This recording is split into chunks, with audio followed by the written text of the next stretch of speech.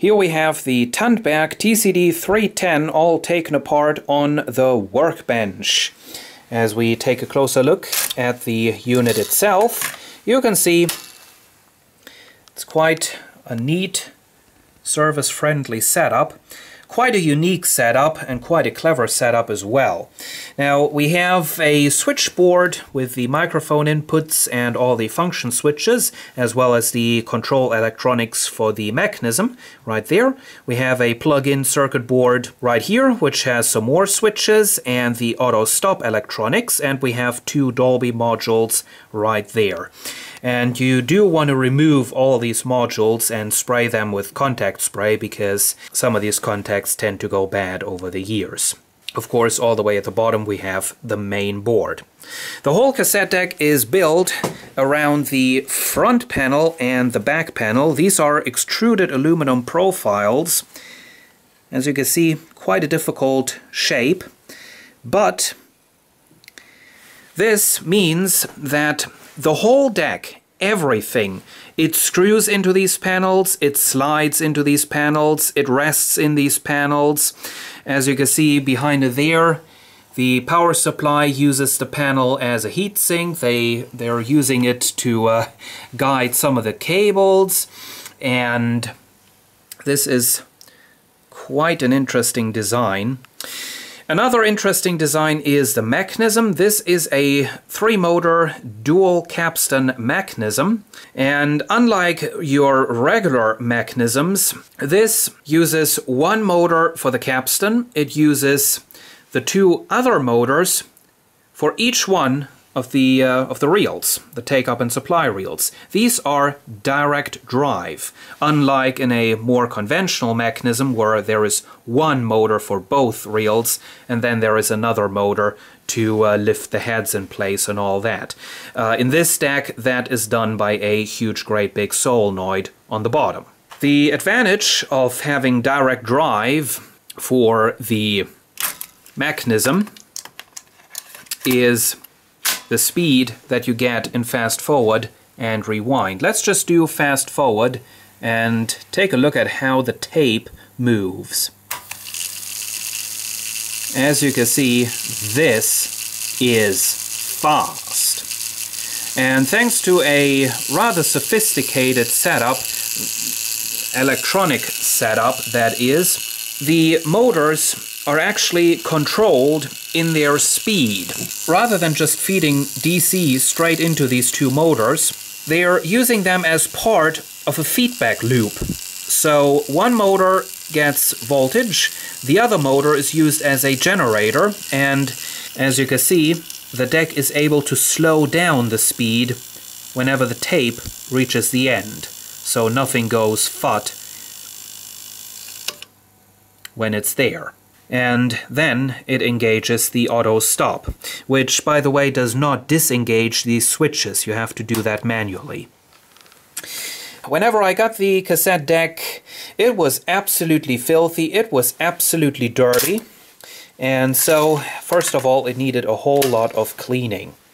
Then I took it all apart to see if there was anything inside that was obviously wrong. I then powered it up and fast forward worked, rewind worked, but playback did not work at all. Using the service manual, I started taking measurements on the take-up and supply motors, and I found out that those were getting the voltages they ought to get during playback, so I knew that something was uh, wrong with the solenoid, or the electronics controlling the solenoid.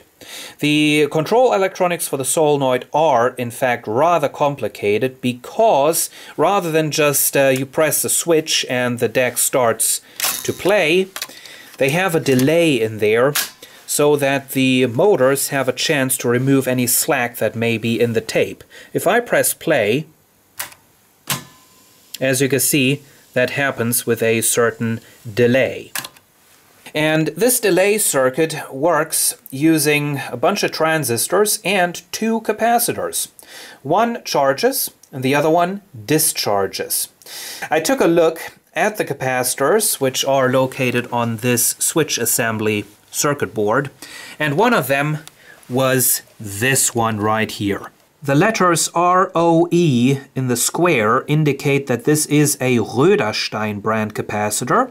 And this is one of their capacitors in the red plastic container. And these always go bad. If you see one of them, just replace it. These are always bad.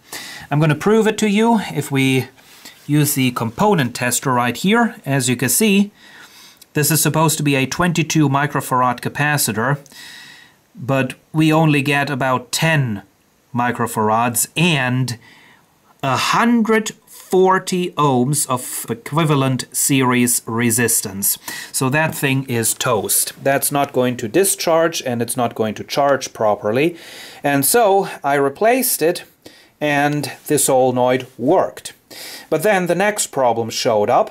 The cassette deck would go into playback mode, but the auto stop would engage almost immediately. So that was the next problem and I spent several hours experimenting and uh, trying to trace down bad components on the uh, on this circuit board which has the electronics for the auto stop as well as the control for the reel motors and finally, I decided, okay, I'm going to give up on that. I'll have to come back to it later. And I'm first going to take care of another problem.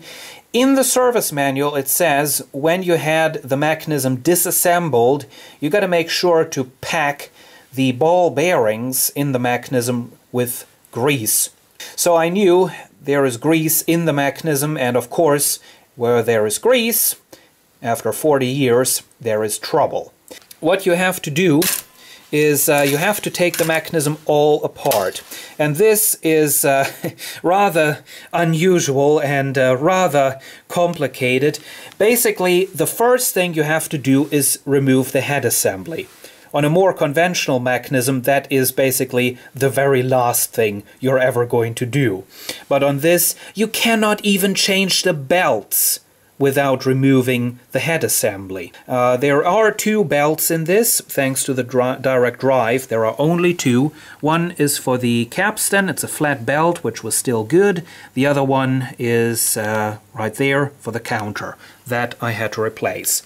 The ball bearings are located under the head assembly, and the grease that was in there, the original 40 years old grease, it was not just sticky it was solid.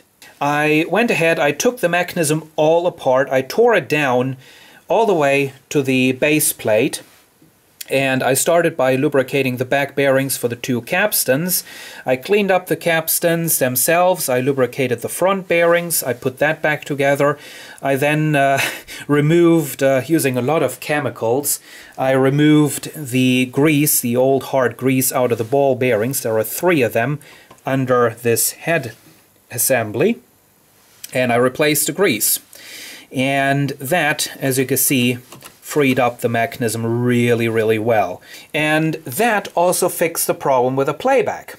I guess what was happening is the sticky grease, or the hard grease, made the process of pulling the heads up onto the tape so slow that uh, the auto stop already said, okay, uh, I'm timing out because nothing is happening. So after I had that fixed, after I had the grease replaced, this is now uh, moving uh, nice and fast. And also the auto stop now works as it is supposed to. Right there. So, I now have the deck pretty much fully repaired.